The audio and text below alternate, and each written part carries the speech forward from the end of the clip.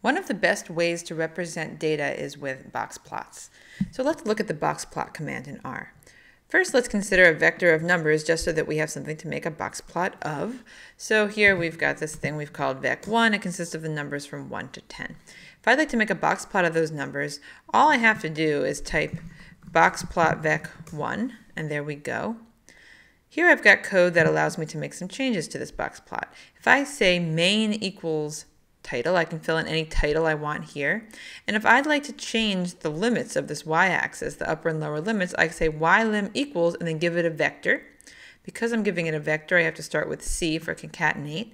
And then I say 0 and 11. I want my upper and lower bounds to be 0 and 11. If I run this code, you can see my box plot now has a new title, and it goes from 0 to 11.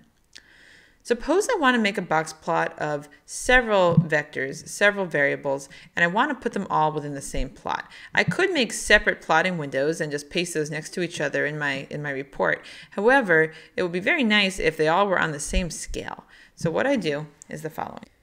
Let me create two other vectors that I can use um, to plot alongside vec1. So now I have vec1, but also vec2 and vec3. If I just simply say box plot and then list the three vectors as the three arguments, that will work. And let's go find our plotting window, and here they are. So I've plotted vec1, vec2, and vec3 all next to each other on the same scale, which is really helpful because I don't have to worry about lining up three plots that were made separately. I can also change the labels if I want to put names on these plots. There's an argument called names. I could label them first, second, third. I can also give um, the box plot command a vector of colors if I'd like to specify a color for each of those. Um, that will work as well. There's another way to specify a set of box plots that you want to appear all together. Suppose that instead of having your data organized such that there are different vectors for each set of points that belong together in a box plot, you have one vector that create that contains all of the y values and another vector that contains indicators for which group uh, these values should be in. So for example, I can make this new variable called groups.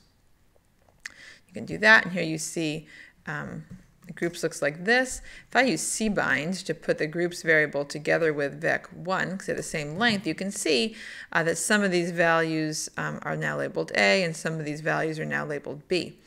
If I say vec1 tilde groups, what that means is give me a block box plot of vec1 by the groups. And there you go. And the nice thing about this is not only are the um, box plots on the same scale already, but they also are automatically labeled by the, um, the labels that are inside that grouping vector. Which one of these strategies you want to use, of course, depends on how your data is organized. If your data comes with a separate column for each um, set of values you want to include together in a box plot, then you need to use the option where you list the different vectors. But if your data comes such that you have one vector containing all of the values and another vector containing an indicator for the groups, then you can do it this way.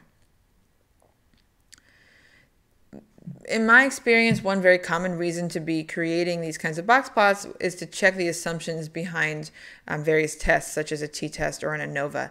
I find that I can check um, the normality and equal variance assumptions of the ANOVA or t-test to the extent necessary just by looking at the box plots. However, some people like to make quantile-quantile plots, so I just want to point out the command to do that in R. If you say QQ norm and then give uh, the name of a vector, um, R will plot the values in your vector against the theoretical quantiles of a normal distribution. Um, and if that is a straight line, or the, if it's more like a straight line, then your vector consists of values that are more normal.